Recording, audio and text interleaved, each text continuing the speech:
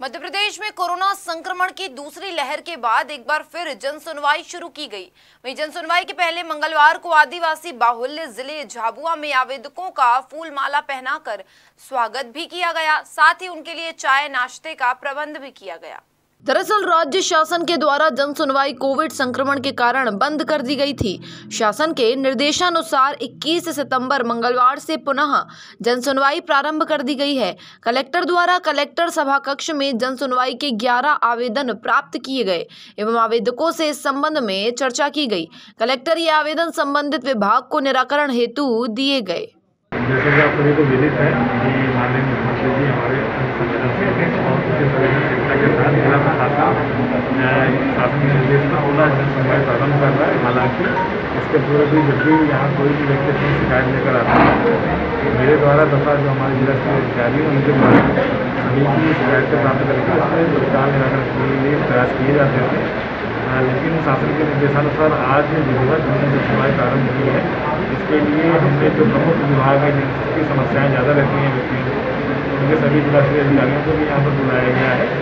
और हमारा प्रयास ये रहता है कि जैसे शिकायतें अगर तत्काल निराकरण योग्य रहती है तो संबंधित सचिव जी आर एस या पटवारी या संबंधित विभाग के जो कर्मचारी हैं, उनसे सीधा यहाँ से फ़ोन से बात करके और जो में उनको एक समय सीमा भी दी जाती है कि तीन दिन, सात दिन या चौबीस घंटे के अंदर उनकी शिकायतें निराकरण भी हैं उस अनुसार कार्य किया जाता है। और आज चूँकि हमने पुनः सुनवाई प्रोटोकॉल के पश्चात प्रारंभ की तो हमने जो भी हमारे सुनवाई के लिए थे, उनको हमने पुष्प माला देकर उनका स्वागत किया।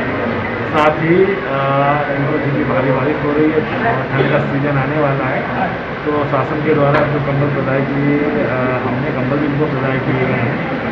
ताकि यहाँ से कोई भी व्यक्ति अभी खाली हाथ लौट कर न जाए और इनके यहाँ पर चाय चाय और नाश्ते का भी प्रबंध किया गया है। हमारा प्रयास ये रहेगा कि ग्यारह से बारह न केवल जिला स्तर पर बल्कि सब डिवीज़न स्तर पर और सभी सभी ग्यारह को पटवारी से बोला जाएगा कि अपने अपने हल्कों पर प्रत्येक मंगलवार को ग्यारह से बारह जन सुनवाई करें। आप लोगों के माध्यम से हमारा निवेदन है कि आपके इस जानकारी को गाँव गाँव तक पहुँचाएँ। कि अब प्रत्येक मंगलवार को अगले मंगलवार से ग्यारह से बारह हम प्रयास करेंगे कि न तो कोई मीटिंग रखी जाए और सभी स्थानीय जो अपने अधिकारी अपने अपने कार्यालय में मिले, ताकि जनता सीधा उनसे संपर्क करके अपनी समस्याओं का तत्काल निराकरण करा